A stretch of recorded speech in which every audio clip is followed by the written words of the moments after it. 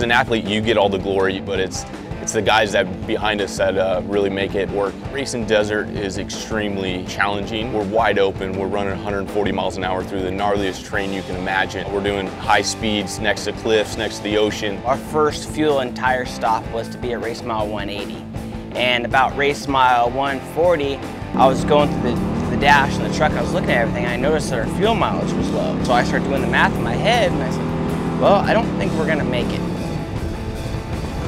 so we knew we weren't going to make our fuel pit. So I had to pretty much call my dad in the helicopter and call the pit and tell him to load everything back up into the chase truck, move it down the road about 20 to 30 miles, and then set it all back up, which is a ton of stuff. I'll tell you what, here's the deal. You go. You take the Raptor or you take the Tundra and go because you can get here quicker than that. Okay. You go.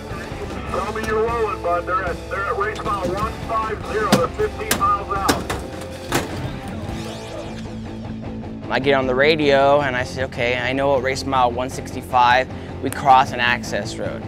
There's a, you know, 20 foot by 20 foot spot of dirt that we can put a truck. Here we are as we're pulling up. They're, they're pulling up at the same time, you know, pulling everything out. Start your fuel,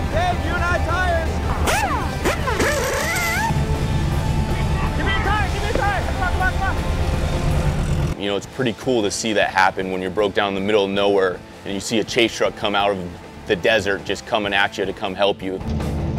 Yeah, you know, I've never had that happen in a race. We've always made the pit where it's already set up, everything's ready to go, but my guys did an amazing job, you know, to jacked up and change tires and put 94 gallons of fuel in, and they did it in three minutes and only one truck got by us. It was incredible.